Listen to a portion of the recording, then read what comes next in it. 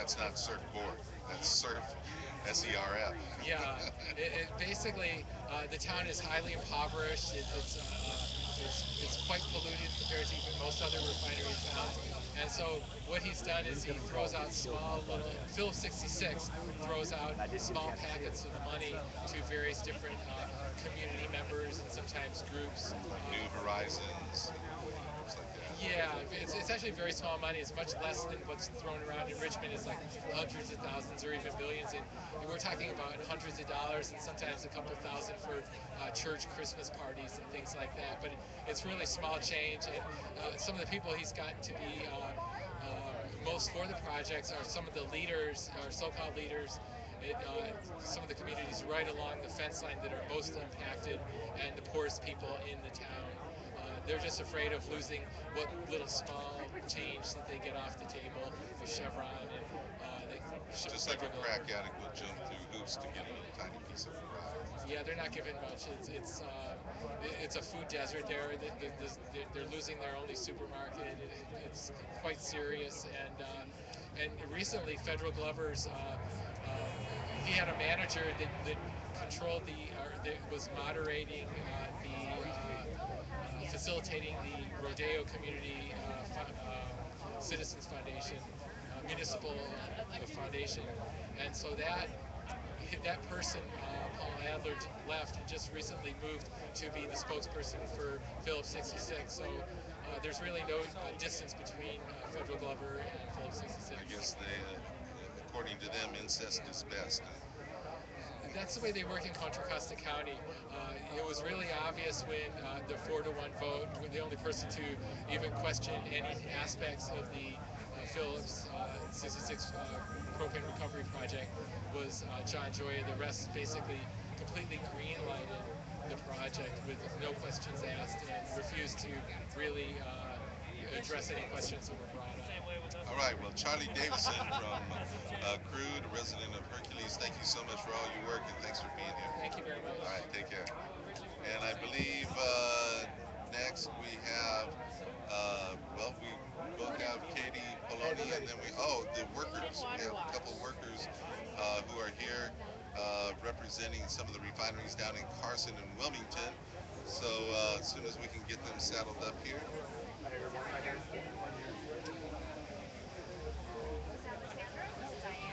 Alexandra, how you doing? Pleasure. And Diane, good seeing you again. Hi. So uh, speak right into the mic uh, so that they can pick up your voice. And uh, once again, this is a live streaming uh, broadcast on kpfa.org. And uh, so, you know, we're uh, out here doing it, bringing it from the streets right into the studio. And so, welcome. And so, give your name and your your association. My name is Alexandra Nagy, and I'm the Southern California organizer with Food and Water Watch. Excellent. And My name is Diane Thomas, and I am the Vice President of Carson Coalition. All right. So, um, first, why don't we start out with you? Tell us what Food and Water Watch's role was in this mobilization and what you're doing today. So, uh, Food and Water Watch, we're a nonprofit national consumer advocacy organization trying to fight. Oh, how that was loud. That's called excessive consumption Right. of carbon fuel. Working to fight uh, corporate control of our democracy, and a big part of that is banning fracking in California. We've seen time and time again that the industry, the largest um, influencer in our government, is putting money in Governor Brown's pocket so that he ignores the community. And in Diane's case here, actually places phone calls to Carson saying, "Don't ban fracking." And so this march is a big part of calling him out, um, putting him where he really should be, which is listening to us. And and so Diane, uh, we're up here in Northern California. Uh, a lot of people up here may not have ever heard of Carson. Tell us about Carson, Carson's economy, Carson's uh, demographic population, and the struggle the Carson Coalition is dealing with. Okay, for those of you who don't know where Carson is, Carson is a part of Los Angeles County. Neighboring city would include Compton, Long Beach, Torrance, Gardena, and we kind of sit in a nice, sweet spot. The weather is great. Don't come. But uh, no, I'm just kidding. Um, our city is a small city. It's less than 100,000 people. It's right around 90 to 95,000 people in population it, it is extremely diverse. Uh, so it is the type of community that um, already has oil refineries there with Tesoro and uh, ConocoPhillips and Shell Oil. And so with the boom of They've also done oil drilling. They've been doing drilling, but mostly refinery. In the 1920s, uh, there was a lot of oil drilling that took place in the Dominguez oil field. And once the price per barrel of oil uh, dropped back in the day, they said it's not profitable for us to have this. So all of those wells were actually uh, uh, plugged up, if you will. Now, with the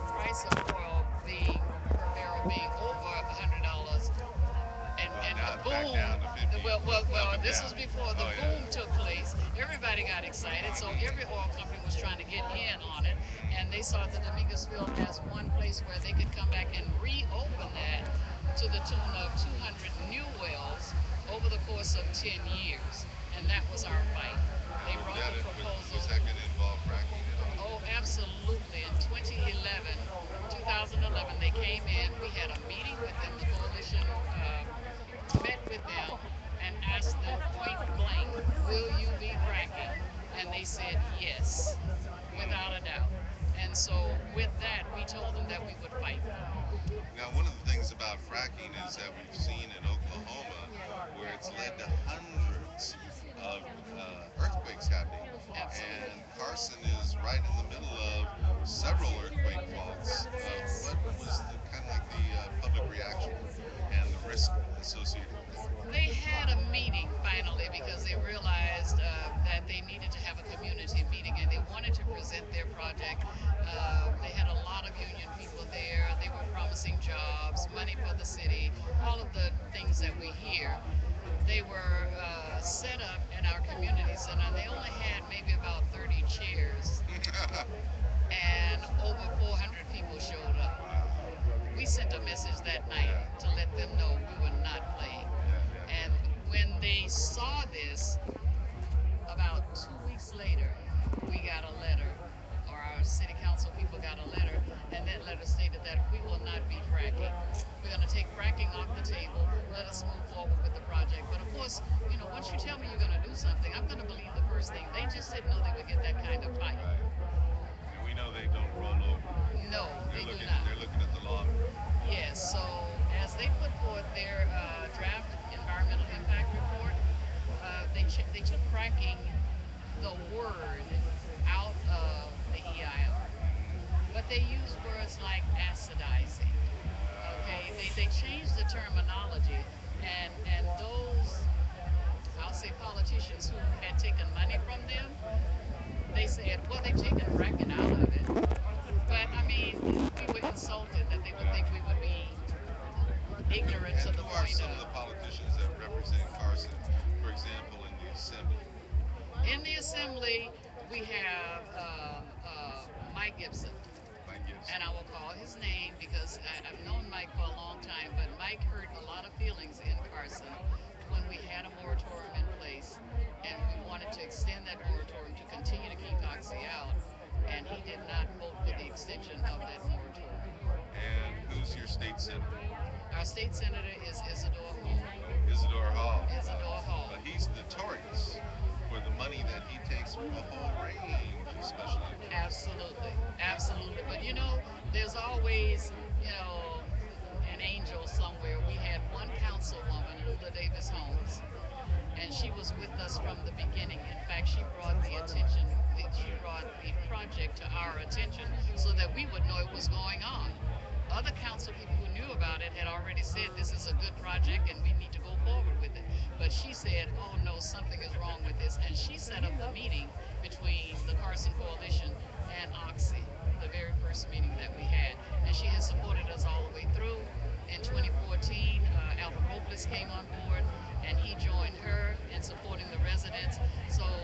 it's been a fight, and really it was a fight for us to hold them off until a miracle could happen. and it did. And what was that miracle? That miracle was oil prices dropping below $50 a barrel, and Oxy basically saying it is no longer profitable for us to move forward with this project. They hadn't even gotten it off the ground. So Just for the time being. So I don't think they'll be back. Okay, well, thank you, Diane. And then, so from the Food and Water Watch uh, perspective, mass mobilizations like this are great to build some numbers, uh, but where is the battle going to go from now? I mean, how are you going to really put pressure on Jerry Brown to change uh, his attitude towards fracking? Yeah, and that's a really great question, and that's what we're going to be talking about here in the convergence afterwards, which Food and Water Watch and Californians Against Fracking helped organize. But really, what we're, what we're, our message today is that Governor Brown, you haven't been standing with us. You're, you are turning your back on us, and so the only thing we can do next is go back to our communities, organize, ban fracking, ban oil drilling. And this upcoming March 3rd, we're going to see two ballot initiatives in Southern California, La Habra Heights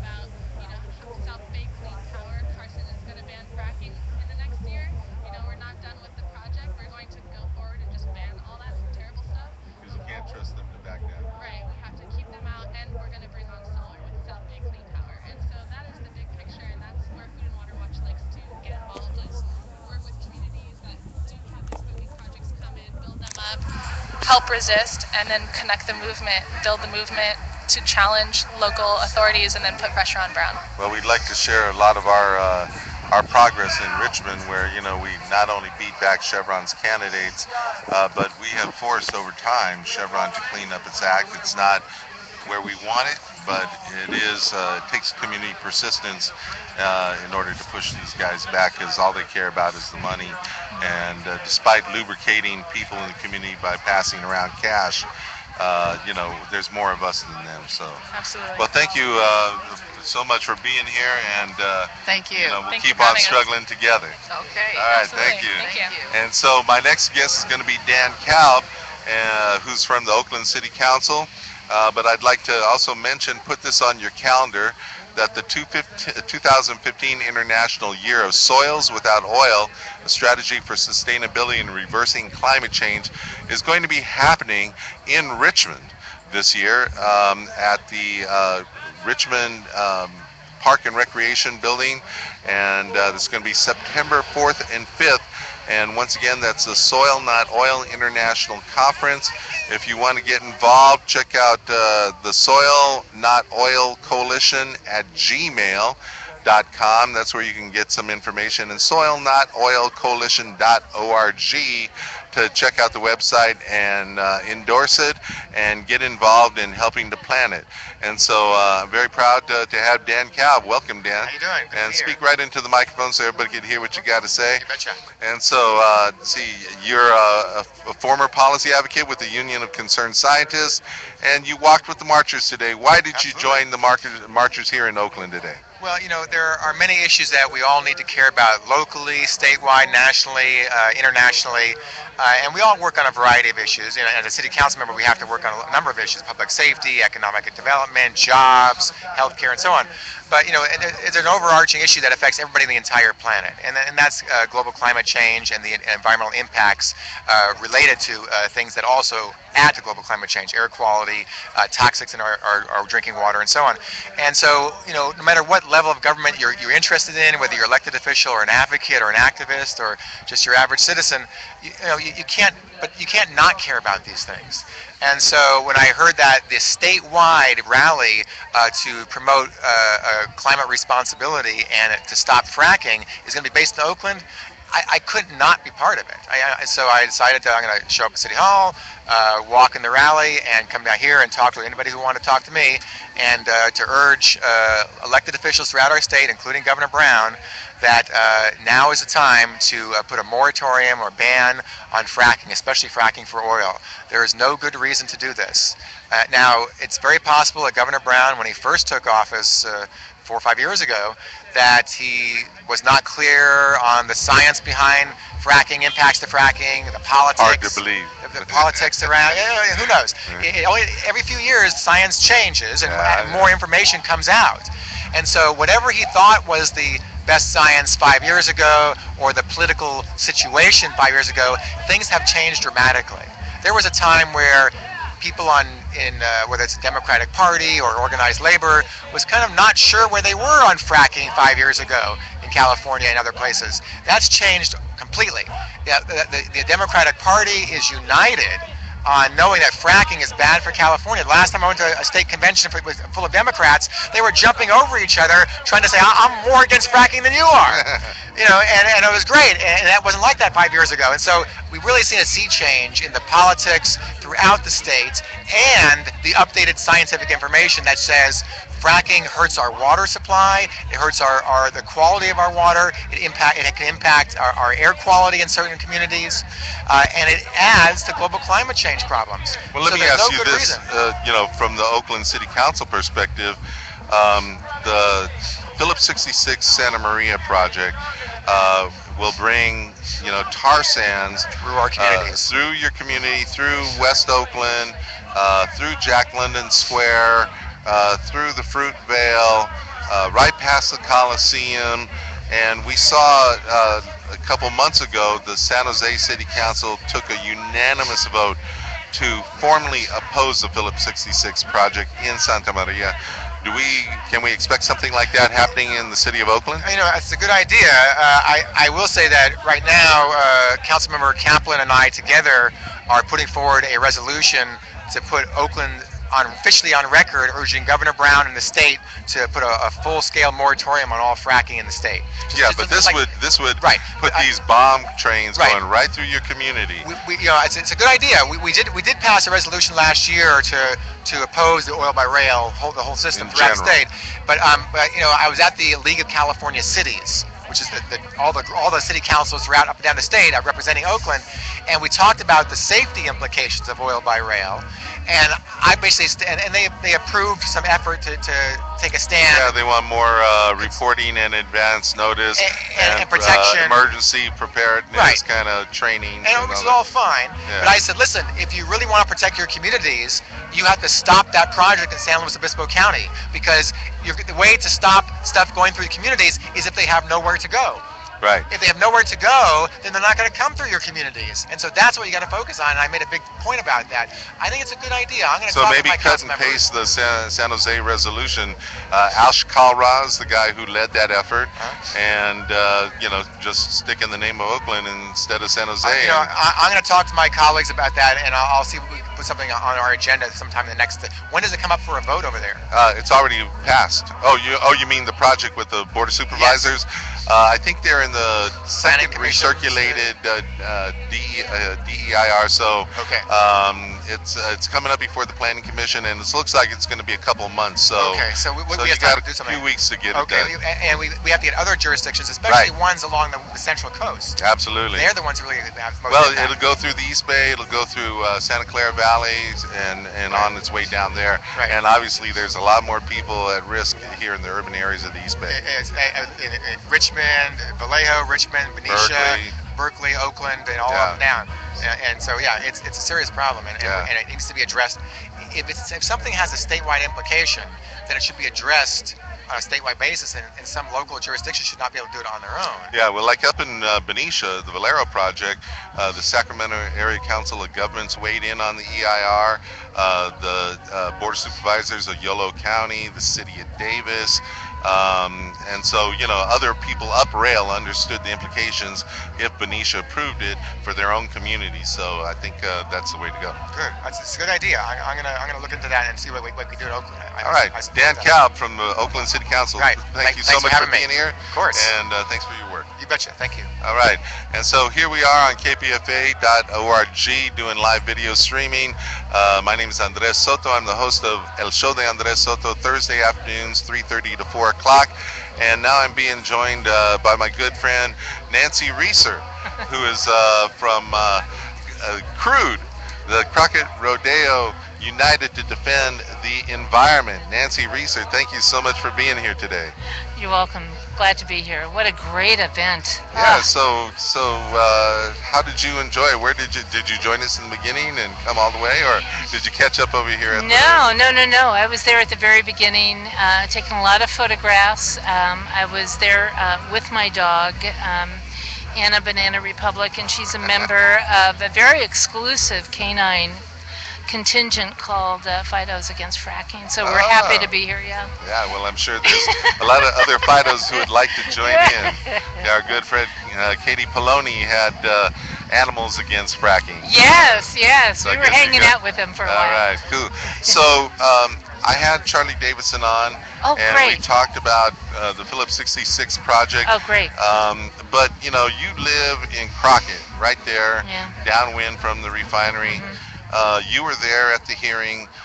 What were your impressions of that hearing? What were your impressions of the vote, and especially Federal Glover coming in at the last minute with uh, you know 4.25 million dollars of bribery money? Okay, well, remind me of that list if I forget. So first, what, were- what were your impressions of the hearing itself? It was one of the most surreal public hearings that I ever saw. Uh, John Gioia was fantastic. Um, Supervisor John Joy. yeah, Supervisor John Gioia. Um, he asked all the hard questions. Was And he represents District 1, and the refinery is not even in his district. Exactly, exactly. He's a bigger defender of our community rights than our own supervisor, Federal Glover, who we got through the process of gerrymandering, so we didn't even vote him into office, at least our little corner of the world. Um, one of the things that um, Glover, hmm, uh, pardon me, let me back it up. Uh, one of the things that John Gioia uh, brought out uh, through drilling uh, county staff in Phillips 66 is that um, alternative, safer systems for the refinery design were not in the environmental impact report. Now, um, the ISS, Inherently Safer Systems, analysis was, interestingly enough, given to the county, but the county declined to put it in the EIR. And not to um, include an analysis of safer systems is clearly a violation of CEQA.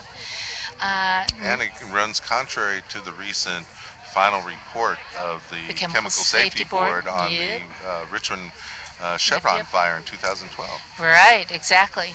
Another huge deficit um, in the EIR that was glossed over by Phillips 66 uh, was that, of course, it didn't admit that um, uh, this was a tar sands project. In fact, it vehemently um, uh, denied it, despite the fact that the front end of the refinery, or the facility, which uh, is located in San Luis Obispo County, despite the fact that the San Luis Obispo County EIR admitted that it was a Canadian tar sands project, that it was going to accept Canadian tar sands off of barges, um, partially refine it in the Santa Maria Nipomo facility and shoot it up vis-a-vis a pipeline that goes directly into the Rodeo coker.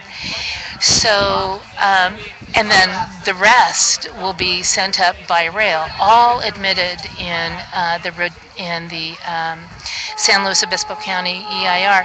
So that means that the EIR that the county approved failed miserably as an informational document under the laws of CEQA. So that sounds like it's ripe for a lawsuit. Oh, hell yeah.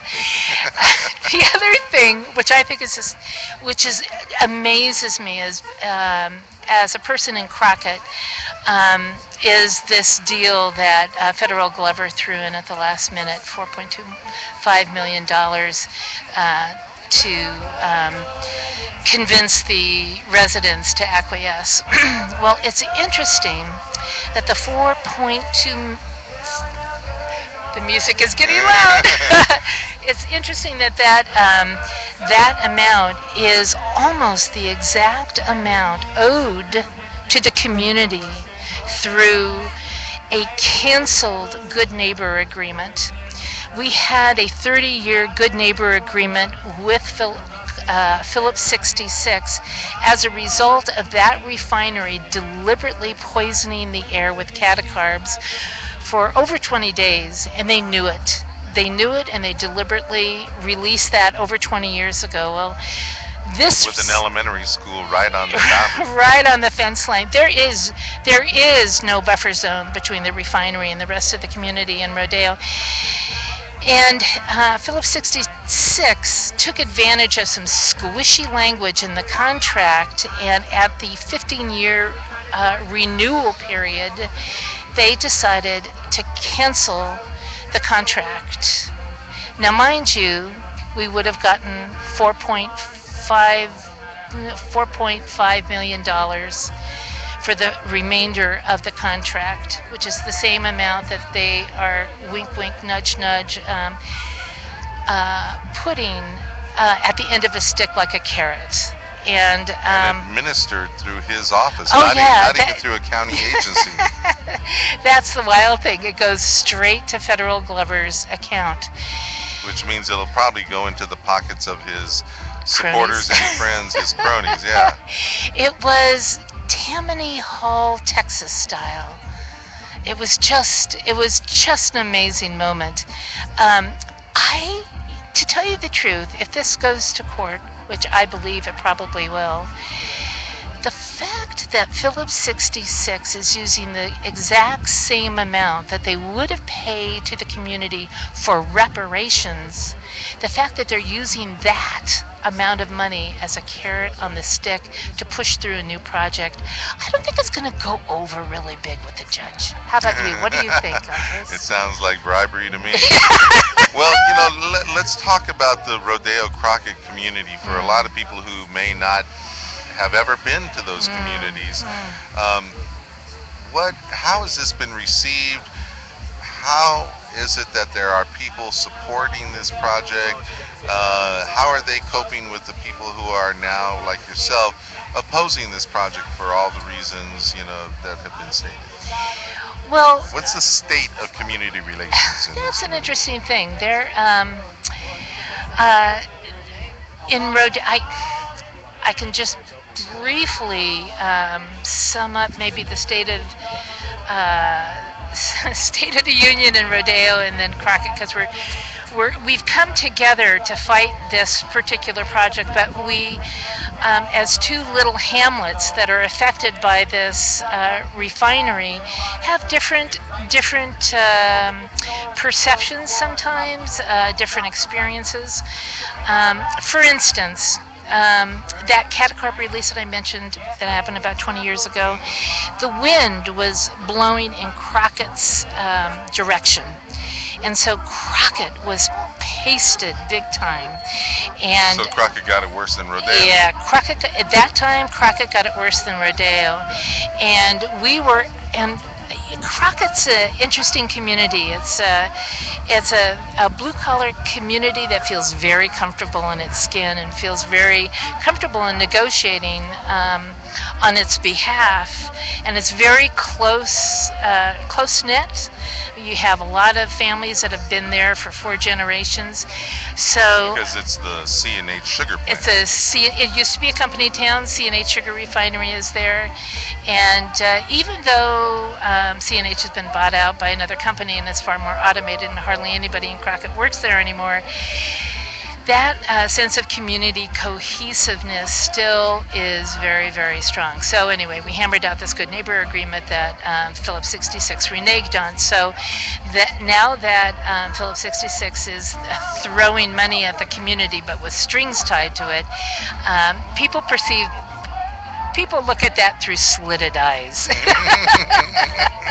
As well they should.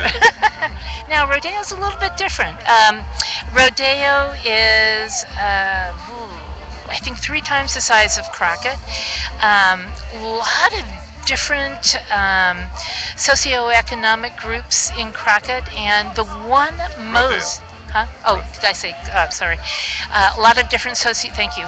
Uh, a lot of different socioeconomic groups um, in Rodeo, and interestingly enough, the community that is the most heavily impacted is the Bayo Vista housing projects, which sits right on the fence line, right on the fence line. Now, if this project goes ahead um, as planned, giant propane storage tanks will be built immediately adjacent to a enlarged rail spur that is sited on a liquefaction zone and Right on the Bay Shore. right on the bay shore and um, if there is ever if there's ever a perfect storm of a natural disaster like um, an earthquake, metal on metal sparks, broken pipes, f- screwed up gauges, worker error happens all the time. Uh, those propane tanks will blow. And let me tell you what's going to happen to the people of the refinery first, and then I'm going to talk about Bayo Vista and Northwest uh, Rodeo. What will happen is that there's going to be a big, huge fireball. Everything um, within that fireball is just going to basically turn to ash. There will be a, um, a fireball blast zone that will have a 100% mortality rate. Concrete buildings will collapse.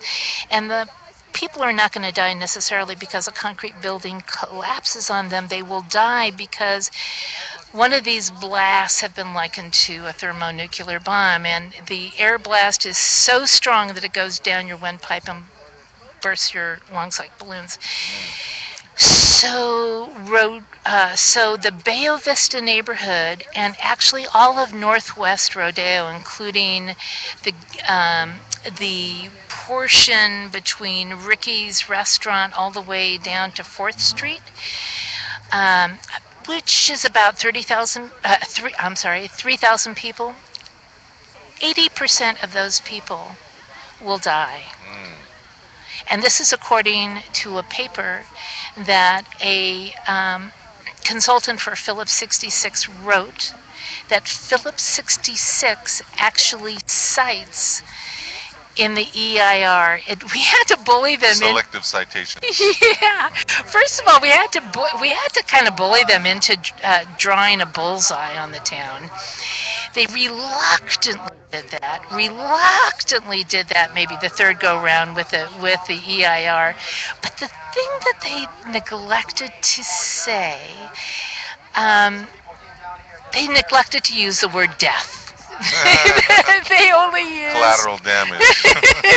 significant um, significant impact i think was the phrase that they used now i'm not a lawyer but I don't think um, hear no evil, see no evil, speak no evil is a defensible um, argument under the laws of CEQA. So, um, but getting back to Bayo Vista, the Bayo Vista community has lived in the shadow of Phillips 66, and uh, Phillips 66 regularly throws money at that community, and it's um, and they were there. Um, uh, loyal soldiers because they knew that um, well they were i would imagine that they were told that if this project doesn't go through funding would cease. You know um, Extortion. yeah ex- yes. Thank you Well, Nancy Rieser from Crude, thank you so much for You're being here. Thank you for all your work, and I know you. this saga is going to go on. yeah it sure is All right. all right so thank you andres bye-bye All right, so once again, we're uh, live here on uh, kpfa.org streaming video. Uh, my name is Andres Soto, and I'm the host of the show, The Andres Soto. And uh, we have our next guest is Robert Gould. Welcome, Robert.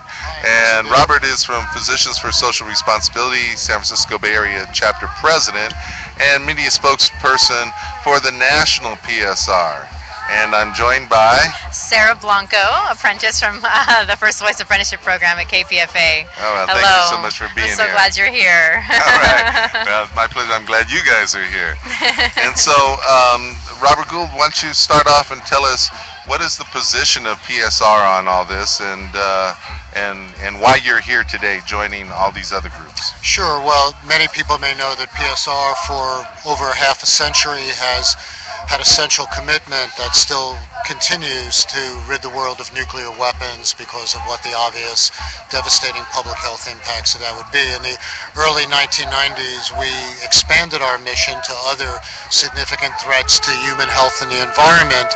In this case, uh, climate change being a very significant one, and with all the connected issues of the toxic degradation of the environment. So, for many years at the national level here in the Bay Area, our many chapters around the country have been very oriented on the, these profound environmental health issues. So, obviously, uh, you know, in continuity with our work on the health and health and environmental issues around climate change, we're very concerned about the uh, development of fracking operations in, in California and have joined with many of the organizations here for a moratorium because of the significant real and potential environmental and public health impacts. one of the one of the things that that when I first spoke with you, and again we're speaking with uh, Robert Gould with the Physicians for Social Responsibility, um, that struck me was my first question was like, well, where are the studies? Like, you know, like, um, is it making people sick right now?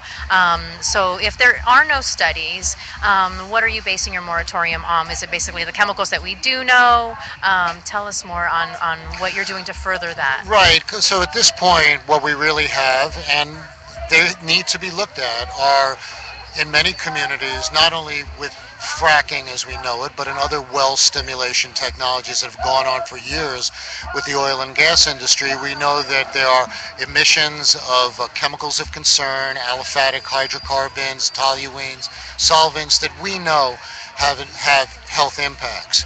We don't have, if you will, the smoking gun on these chemicals with particular communities being impacted in terms of having definitive proof of human health. We have the basis of examining this. There is a panel right now that's supposed to trace out what the potential health and environmental impacts of fracking operations would be, but that report is not going to come out until July just at the same time that they're authorizing fracking operations to begin. So there's no way for the public health community to really evaluate that information and make recommendations. But I would say that if we look at operations around the country and the and the little bit that we know, uh, certainly the similarities with ongoing oil and gas operations, that we're threatening aquifers, like just came out in the San Francisco Chronicle at the beginning of this week, in terms of dumping not only the toxic chemicals, but also highly concentrated solutions of solutes that poison farmland. In very water-stressed communities, communities where we know with the ongoing climate change are going to be even more water impacted, as we're seeing in communities in the Central Valley.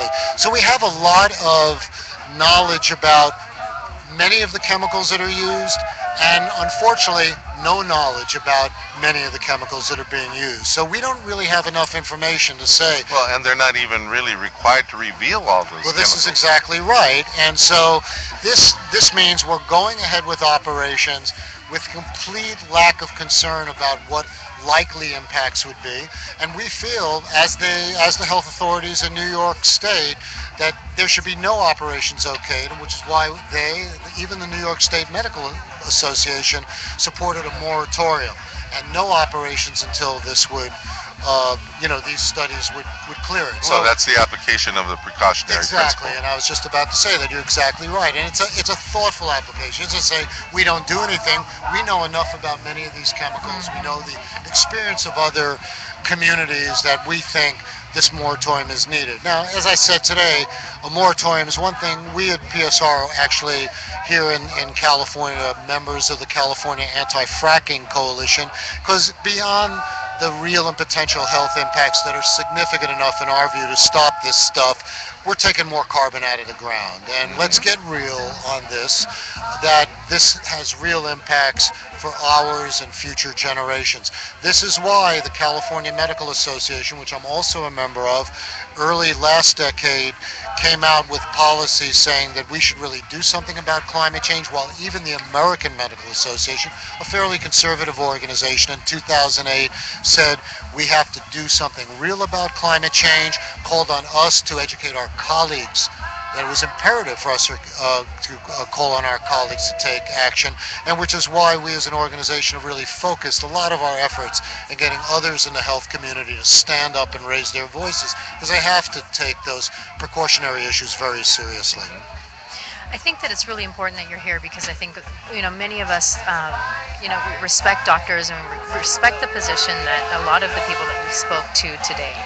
Um, I, but I, I do want to turn the the uh, magnifying glass, so to speak, over to like areas like Kern County, right? Where so many brown people, where so many underrepresented communities are really disproportionately affected by not just fracking, but by so many other practices. Yeah, like Um, nine state prisons in Kern County. in addition to that, Yeah. so if you don't, if you're not living in the unhealthy conditions, free, so to speak, then you're locked in a cage. No, all of these communities, as we all know, suffer from multiple comorbidities, the stressors, the, the long-standing environmental health issues. Now on top of this, you're going to bring in operations. And again, as uh, the recent report, excuse me, just released by Earthworks about one or two weeks ago that examined, even in that case, poor communities in Lost Hills, California, even an upscale community in Ojai Hills, saw that many of the communities in those areas, they could measure emissions with infrared cameras. They could see that people are being exposed, and people were reporting nosebleeds, headaches, and things like that. But this requires some attention. Again, as you're saying, communities, we're, we're talking about operations are within a mile of schools, hospitals, just communities that are already stressed. So we have to take special action to protect all of our people, particularly those in communities of color and overall environmentally justice stressed communities.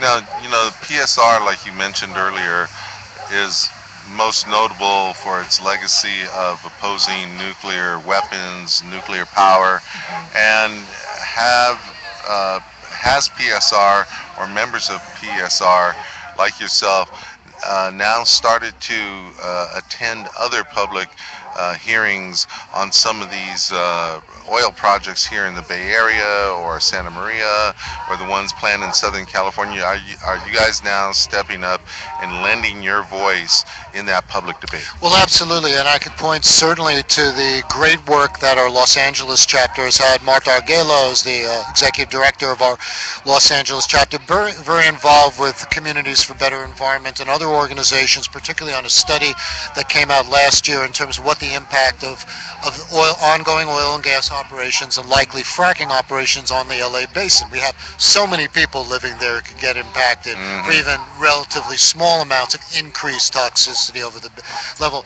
Personally, and with colleagues here in the San Francisco Bay Area, I've been, you know, going because that's our role to go to the Bay Area Quality uh, Air Quality Management District, uh, with comrades within 350.org and other and community organizations because we can't afford to have increased refinery operations in Richmond, and we can't afford to, to not have the strongest possible health protective environmental legislation. So what we're talking about, for example, um, AB 32, it's strengthening it and re- reenacting it basically, so we get to our Yeah, really it sunsets, reduction. in- it sunsets in Exactly, 2020. and, and there's now a, a move for Senate Bill 32 to sort of extend the concern, so we start building in real health protective uh, measures for not only 2020 deadlines, but going all the way to 2050, where we really need to be carbon-free and nuclear-free if we're Mhm. going to protect ours and all, all to Yeah, come because- in, in our wake. Yeah, right now in front of the Bay Area Air Quality Management District, uh, there's the effort to develop uh, refinery emissions reductions rules, as well as we're fighting to rescind what we believe was the illegally issued permit for Kinder Morgan to offload Right. Bakken crude at the Kinder Morgan facility in Richmond. So we appreciate you guys being part of that. And, uh, you know, this is going to be an ongoing struggle, just like the one with nuclear power and nuclear energy, it's going to be one for the generations.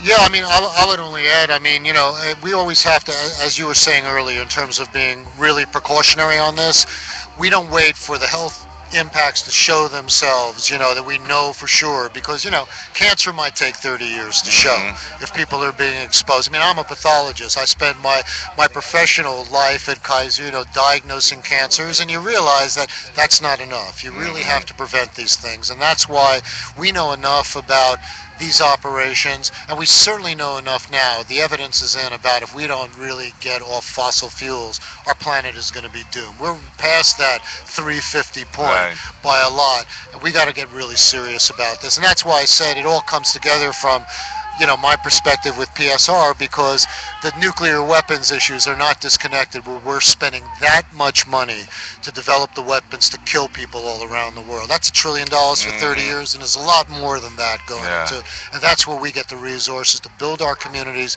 build the community resilience, and stop this stuff. Shifting the paradigm. You bet.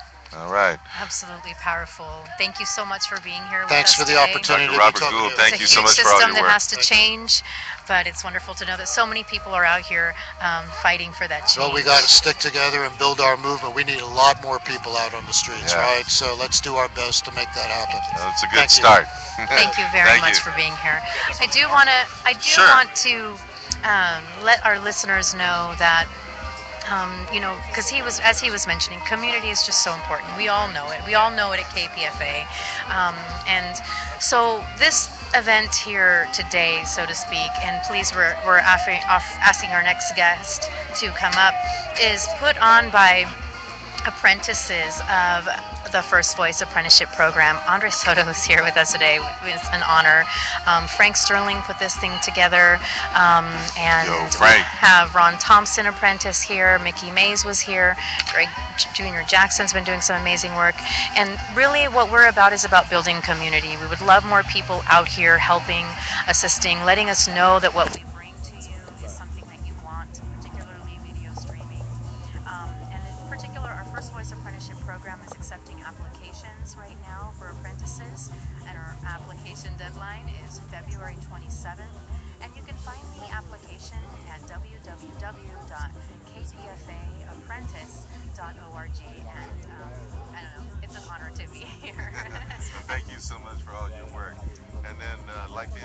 Michael Hexter, who's here from 350 Silicon Valley and uh, part of the Sunflower Alliance as well.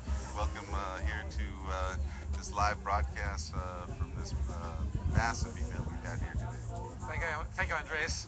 So, uh, Michael, you know, you uh, you're policy wonk. You Uh, like to dive deep into, uh, you know, the work here Sure. about trying to stop, uh, you know, our planet from burning up. of course. and so, but you're also looking at not just what we're trying to stop, but what we're trying to promote. That's right. What are you trying to promote? What do you think we need to do to help turn this whole thing around? Well, I think um, we have an opportunity here in California to really lead the country and also impart the world because I mean we're the the most of our demand for oil uh, uh, uh, comes from you know driving cars, and so what we need to do is we need to create a climate policy here in California that reduces demand for oil, as well as you know attacks extreme fossil fuels like what we're talking about here in the rally today. So I've created something called the, the California Climate Platform. It's a new idea in climate policy, and it's a uh, it's a work in progress. It's something that I want to invite people who are interested to contact me, and we can create a democratic process to figure out what positive demands we want to make that have a, some chance of passing the state legislature at some point uh, that are going to promote uh, clean uh, ways of transporting ourselves and also clean energy generation. And I've studied these things for a while, and I've come up with some ideas that um, uh, of how, how to do this so we can do that in a practical way.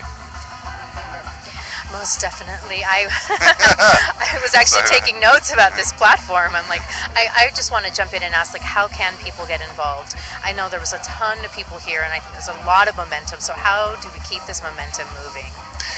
Well, I, in terms of the yes solutions, I think, uh, I mean, for at least for the climate platform, it, they would need to contact me uh, by email right now.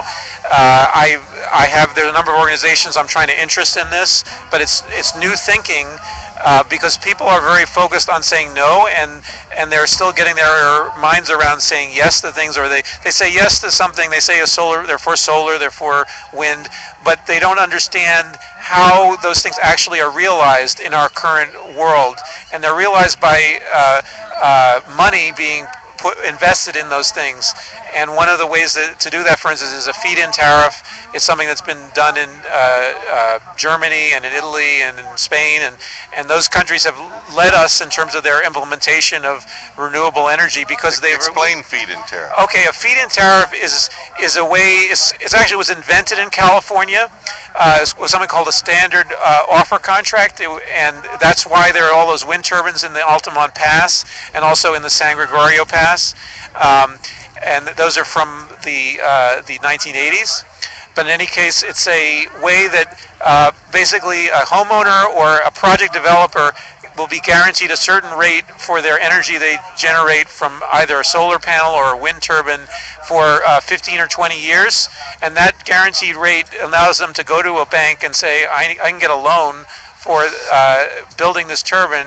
And so they can, and what happens in Europe and in other places, also cooperatives, people can get together and form a cooperative and uh, get uh, the benefit of that energy, that rate. And so that makes it very secure for people to say, okay, I'm going to invest in this uh, project and either put it on your roof or put it on the, the community center roof or put it on, uh, you know, put the turbines out wherever the, the wind is.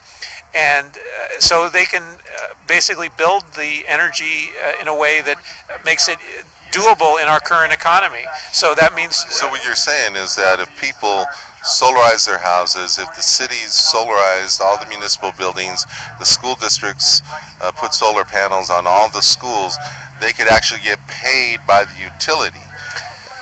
Well, actually, it comes from the ratepayers. I mean, there's there is a no free lunch here in the sense that the ratepayers eventually do pay for those rates, but it's a secure base, and and in California, those rates would not be very high because our sun is very very strong, especially for solar.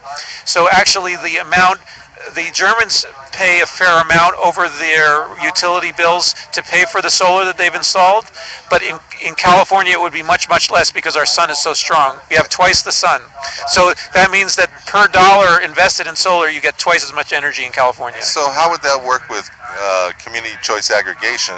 So for example, in Richmond, you know, we're with Marin Clean Energy and now San Pablo, Benicia joined uh, along with the folks in Marin, but yet we know they're procuring their uh, solar uh, generated energy from Shell. So they're actually paying Shell oil to do this. How could feed-in tariff apply in a community choice aggregation kind of environment?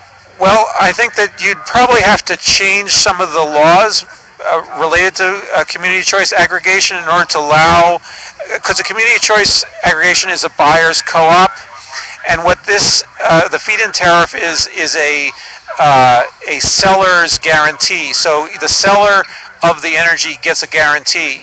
Um, so uh, a if a public utility like which is a stronger uh, choice than in terms of like control of energy the energy system, public utilities like for instance the uh, LADWP, the LA uh, utility, and also Palo Alto can institute feed-in tariffs. It's quite easy for them. I would have to. I don't know enough about the law for CCAs to know if they can themselves institute a feed-in tariff for me, the best solution would be to have a California-wide feed-in tariff. And that means that the whole rate base of California is paying into it. The more people paying into it, the less the impact. And also the more people that can participate in it.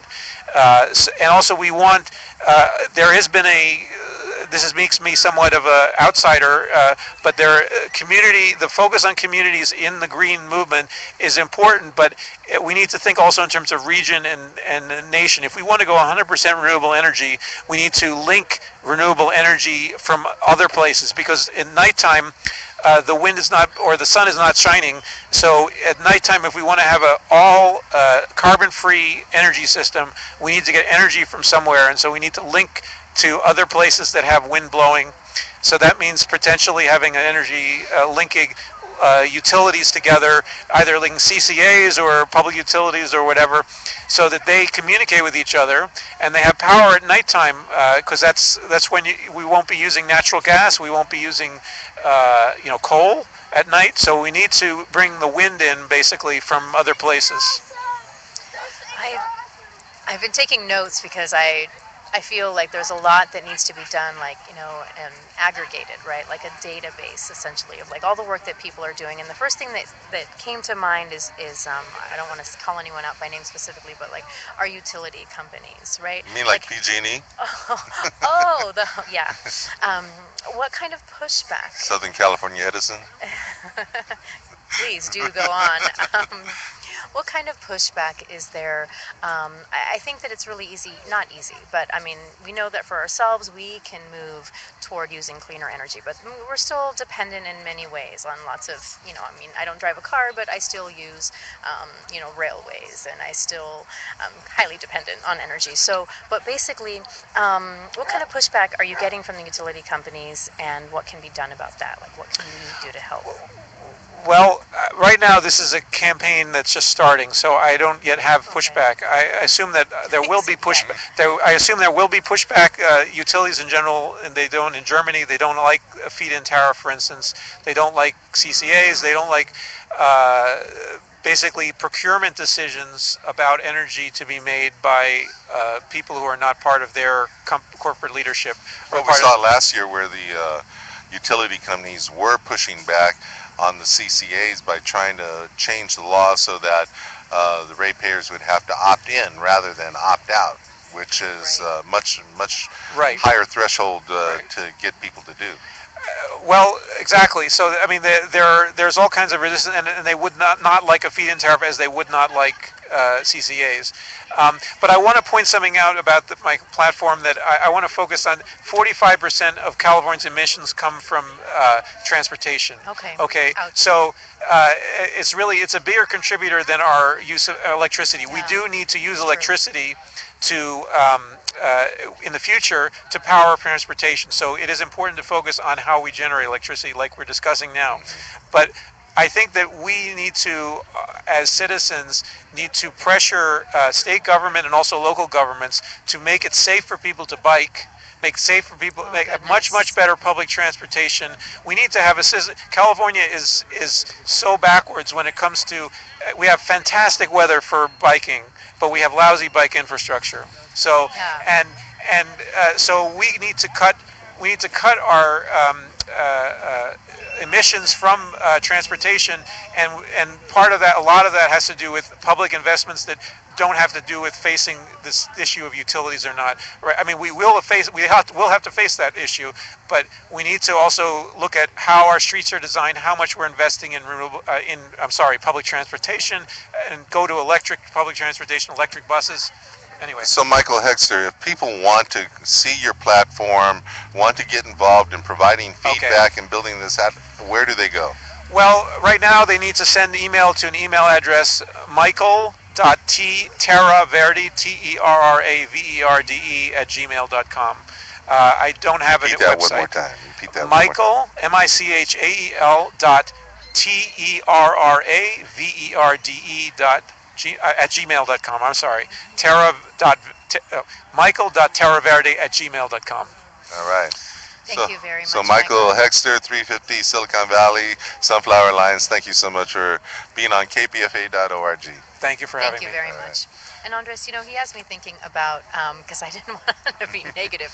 Well, there will be pushback. There will be um, automobiles, you know, like the makers of cars. Like they want us to buy cars. It's like oh, so psychological, these like car commercials. Um, And, And- and like he was saying, the infrastructure in We can't afford California was built primarily after the automobile. So, uh, you know, it's about kind of retrofitting our entire transportation system that doesn't just move people, but also moves goods. And you know, we didn't get an opportunity. We didn't get an opportunity to interview someone, but we did get a um, a paper from someone from the Future of Railroads, who was, um, and it says the Future of Railroads: Safety, Workers, Community, and the Environment. So basically, Yeah, I think there's a conference happening in Richmond on uh, March uh, the who 14th. is this guy? He knows everything. didn't even I didn't even have it turned over. And it's happening in Richmond at uh, 3230 Macdonald, which is the center of the Richmond uh, Recreation Center, right on Macdonald 33rd, uh, right by Nicholl Park and next to Lavonya DeJean Middle School. And they talk about things like, you know, worker fatigue and moving toward greener transportation systems in lieu of, you know, oil spills. So it's, you know, everything's interconnected. One of the things I learned from the railroad workers is that when I was a kid, I had a, a train set, you know, a little ele- electric train set, and it had an engine and it had a caboose. And now you don't see cabooses anymore. And what I found out was that in the engine, uh, they had the engineer and a brakeman. And in the caboose, they had an engineer and a brakeman. Now they've gotten rid of those two in the back and they've gotten rid of the brakeman. So all the trains are now being run by one person. You know, I totally forgot about that. My father worked on the railroads for a period of time as well. You're right. So what is that? You know, cutting back on people. Oh no, Central Valley in Okay. the house. As always. All right. Frank Sterling, we want to interview you. Thanks for coming.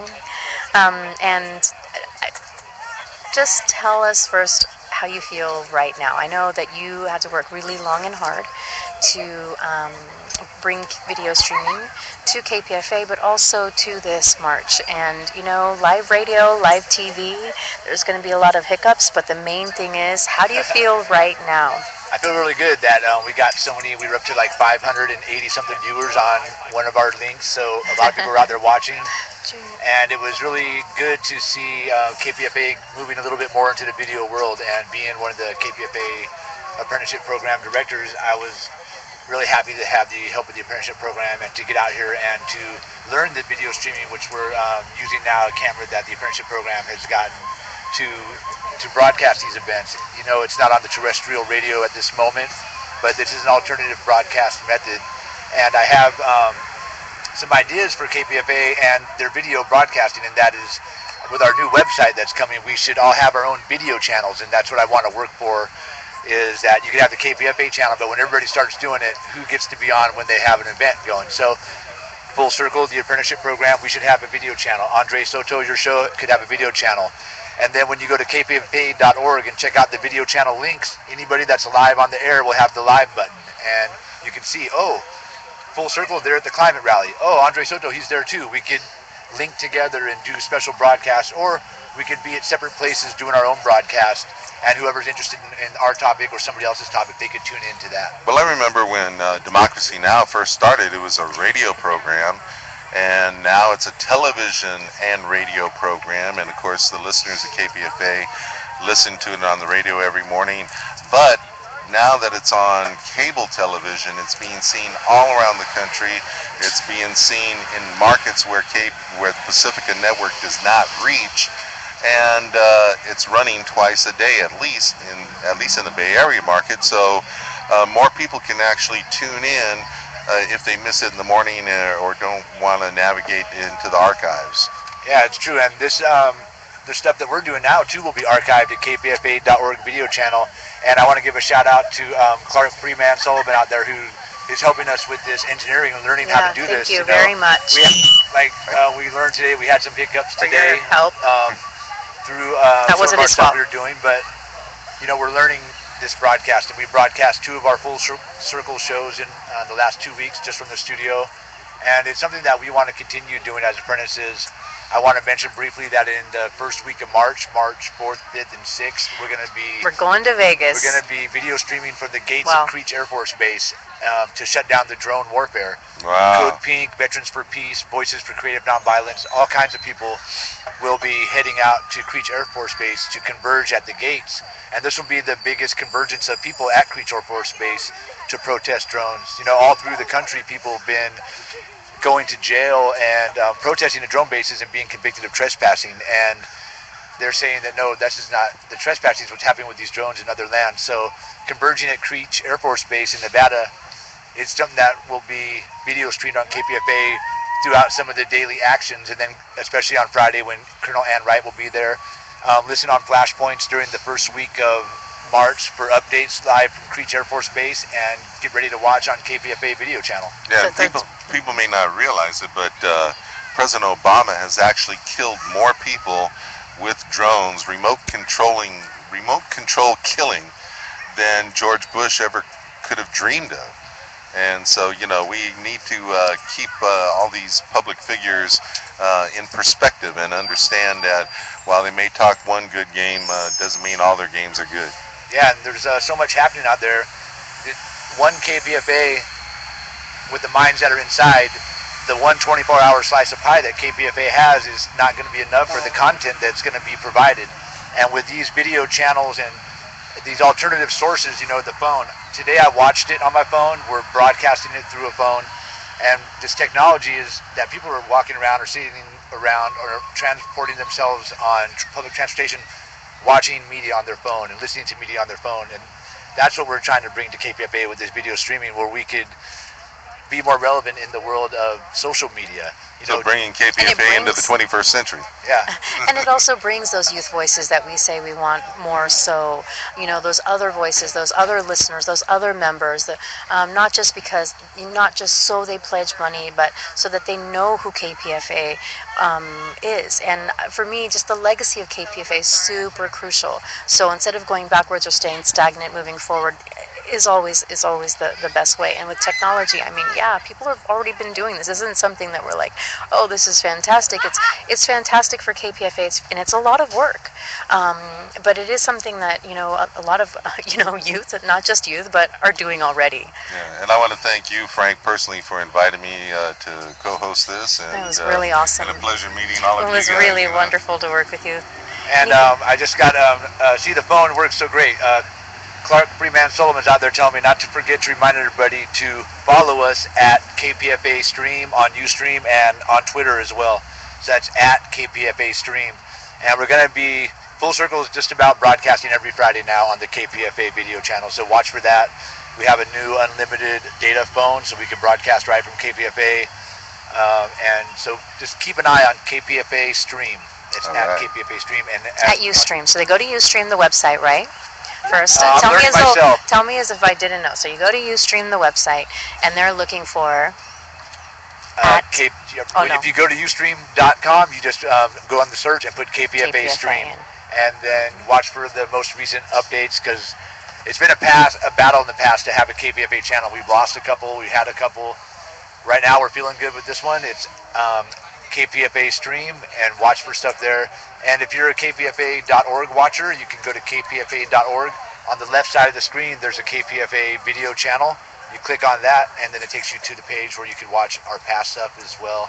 You know, we're we're bringing it in, and we're really proud of what we've done today, and um, really going to be looking forward to doing Creech Air Force Base to be live on KPFA.org at a protest from the military base where they're launching drones or um, piloting drones that are flying Right. in other countries. So I'm looking really forward to that being a special broadcast um, from the gates of Creech Air Force Base. March 3rd through 6th. In addition to that, we'll be live streaming on Friday, February 26th from the Black Repertoire Theater. Um, Junior Jackson's putting that all together. Um, thank you again, Frank, for putting this together. And thank you, KPFA. Thank you to the Friendship Program. Uh, Thank you, Ron at the everybody. controls, everybody. Muito obrigado. Thank you, Andre. All right, peace. We're signing off. Peace for real, right?